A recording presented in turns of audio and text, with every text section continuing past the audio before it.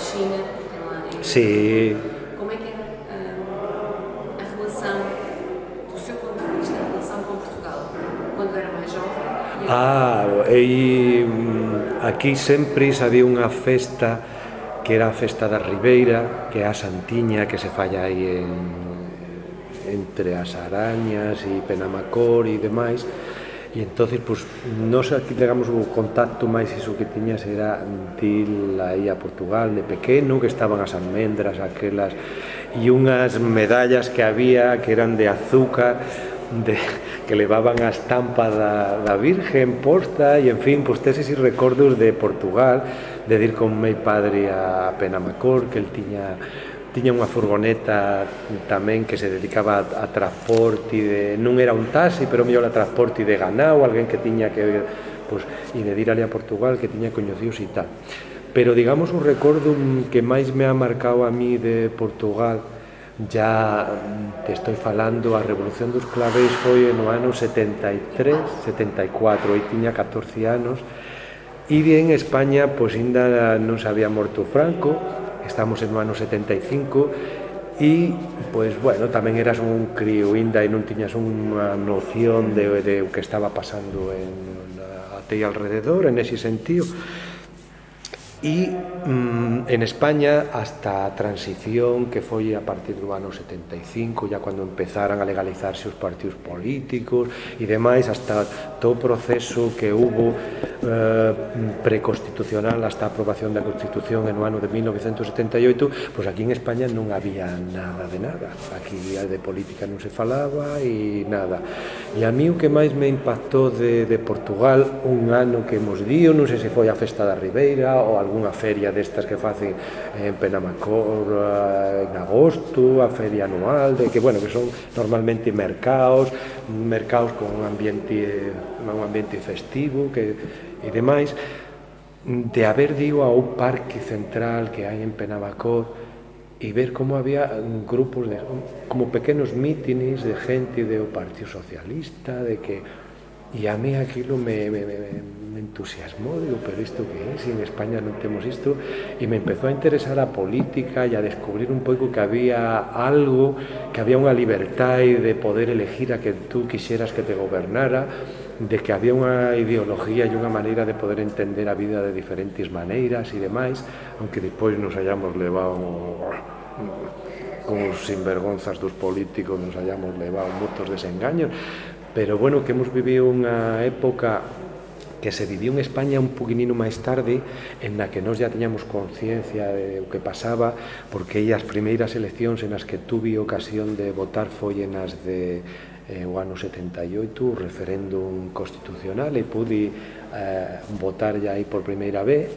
Ya había digo a todos os mítines que había aunque non era maior de edad cando viñan por primeira vez a UCD e demais E hubo un mitin histórico en Valverde que non se ha volto a repetir porque agora falan de a unidade da esquerda e demais, pero aquí viñera de todos os partidos de esquerda gente que había estado en a cárcel durante a dictadura e tal, eh, e pois pudo ser aquilo eh, no ano 70 e poico legal, recén legalizado o partido del comunista estuveran aquí e fizeran un mitin histórico que hai por aí colgado en internet e demais e que é bo velo porque moitas veces eh, as coisas eh, hai que, que volver a, a, a recordar eh?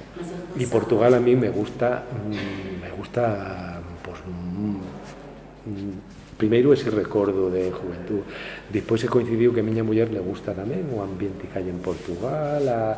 e quando vão lá falo? Ei, falo mm, en portugués non sei, pero intento en fala eh, E, e o que pasa é que os portugueses suelen falar español moi ben.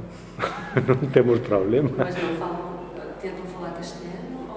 Non, eu intento, se, si algunha coisa solto en portugués, pois, pues, bueno, solto. Uh eh, -huh. Eh, sí. E, e alguma historia de contrabando que se lembra?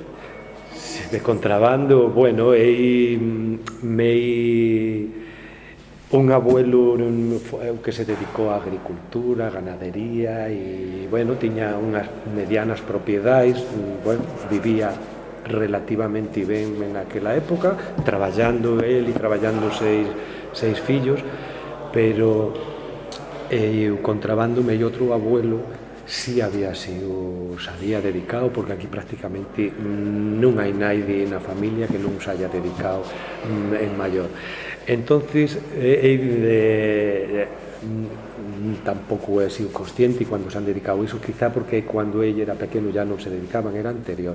Pero mi abuelo llegó a tener una mina en la serra mm, que estaba declarada en España como que producía wolframio, que wolframio estaba muy, muy cotizado a partir de, ah, no sé si porque incluso os portugueses farían moitos negocios con o tema de wolframio porque valdría para construir armamento militar. Entonces o que se ficía aquí era declarar unha mina aunque realmente non houbera produción porque a produción era dirse a Portugal traer de contrabando o mineral era un contrabando de mineral e eh, como a mina estaba declarada se ficía como que a produción era propia de aquí. E entonces iso era o, un dos, dos iso que ella coñecía. Como, como iba falando, eh, ese era unha das coisas non? que se ficía e, e demais. Había outra coisa que era moi desagradable e iso non é chegado a coñecelo que se co chamaba o contrabando dos portugueses que vos habréis oído falar del. Vale. Pois igual que agora hai mm, mm, que ha feito gente de Valverde o sea que as coisas no de, de eh, igual que agora por exemplo hai mafias que se dedican a traer inmigrantes sí. para que veñan a España de Marruecos e de países deses pois aquí ficían tamén e iso non é coñecido e iso ten que ser máis antigo de portugueses que querían emigrar a Francia porque hubo muta e se dedicaban tamén e hubo gente que dentro de, da mafia era un ra e os levaba hasta hasta os Pirineos para que poderan pasar e que era a finalidade que eles querían e o que pagarían aunque fora un contrabando de, de Pessoa.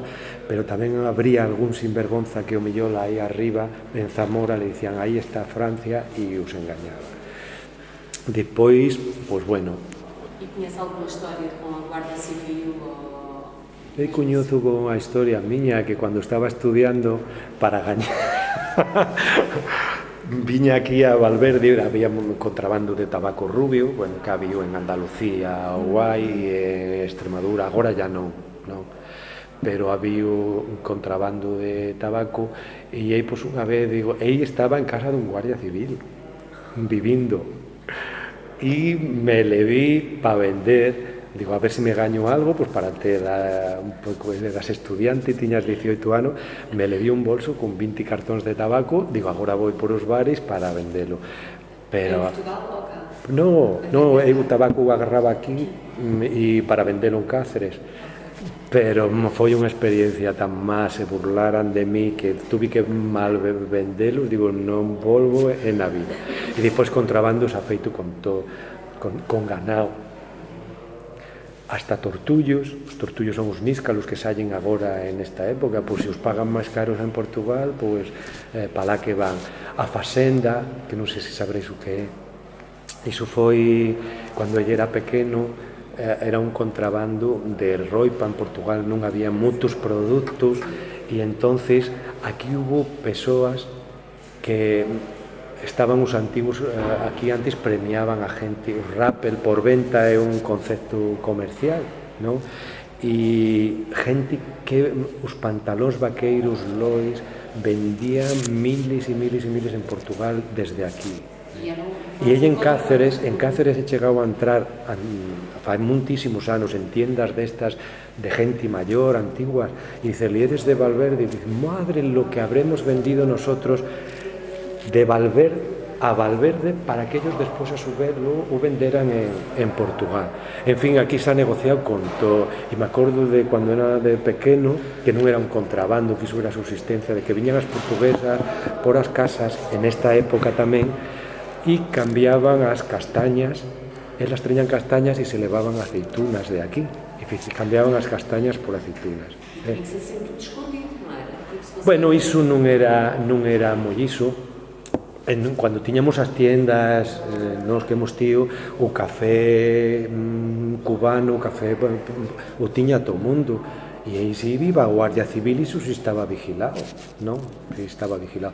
Pero non, isto que te digo e das portuguesas era unha coisa de, de, de que iban por as casas ai, cambiamos a castañas por aceitunas e coisas Mas iam, iam a pé até... viñan andando. Era. Sí, sí, sí, de, de, dos pueblos estes de por aquí cerca viñan andando, era un... Tanto daqui para lá como... No, no, a- aquí non iban a cambiar, viñan acá. Aquí o que había era por si iso máis contrabando con os cabalos, ano. E xa comerciado pois, con todo tipo de, con todo tipo de coisas, iso como a oferta e a demanda. Eh, agora vamos máis os españois a comprar aí porque están temos os centros comerciais, porque aquí eu, eu vou a moitos días o mellor a comer a Portugal, un domingo a Castelo Branco, ou por aí, e sempre se acabas dando unha volta en, en o foro ou en as Serras Trelas e te vas a cubilar, pois e, sempre hai gente de Valverde e destes pueblos por aí. E achou que houve alguma alteração na, na relação depois de se terem aberto as fronteiras, desde que se entrou com o acordo de Schengen e se ter entrado na... relación en que tipo? Em relação entre Portugal e Espanha, agora aqui, Valverde e as terras de, próximas em Portugal, se a relação se alterou, houve algum, algum câmbio na, na relação entre os dois povos com a abertura Home, das creo que antes había moita máis relación Creo que había porque comercialmente se obligaba tanto por o contrabando como por o comercio legal que viñan muitísimos portugueses a comprar aquí a Valverde mmm, porque abrían as fronteiras o millol era un paso fronterizo habilitado o que había aquí non se abría todo ano, o millol era en Navidad e en Semana Santa, os dois meses do verán e Valverde se enchía de portugueses e, e nós tamén hemos dio mutuo ali, non? Agora, pois, bueno, sigue habendo, somos pueblos veciños e me identifico máis e me sentiu nos recordos das vivencias un pouco de toda a vida moito máis cercano a Penamacor, que é un pueblo portugués que está aquí ao lado, que a pueblos da Serra de Gata que son da mesma comarca que non teñen nada que ver conmigo. E sin embargo iso si o sento o sento máis mei algunhas cousas de Portugal que, que as cousas que teño na comarca miña. E por de descarga María que están con todos os respetos pois a mí non me dicen nada ni teño niñunha vinculación con ele. Sin embargo os recordos de a miña infancia e de isos teño máis en, en, en Portugal. E de mei abuelo de de ter amigos portugueses e de vir nas festas de San Blas, que son as festas máis típicas que hai en Valverde. Como é que são essas festas agora? Pois esas festas en honor de, de, de San Blas e que se ha conservado a tradición, pois a parte das procesións, dos actos religiosos, pois é que se sai a cabalo por as calles do pueblo, correndo San Blas, E antes, aí de pequeno, viñan muitísimos portugueses, isto se enchía de portugueses con os cabalos, porque como precisamente o contrabando se ficía mm, como medio de transporte eran os cabalos, pois había unha relación entre a gente e se coñecían e viñan todos os amigos portugueses e tal. Me acordo en casa de meus abuelos de ver gente de Portugal que viñan e se estaban uns días a das festas aquí e demais. O 3 e o 4 de febreiro son digamos as festas do inverno máis máis arrasga, arraigás e, e son iso. Agora, pois, já se facen xogos tamén con os cabalos, iso já son coisas añadidas, se facen procesións con antorchas, que é unha marcha nocturna que se facen. As amas de casa, antes as mulleres, e agora o recuperaran ya fai uns anos as amas de casa, se visten con o traje típico de aquí, que son as saias de picao, mm, e, e van por as calles van a charangas, música en fin, é un, unha festa. E acha que e, e muita bebida. antes era moi peligroso porque bebía moita gente e corrían bebíos con os cabalos e bueno, agora é un pouco máis civilizado pero, pero así, así. Agora,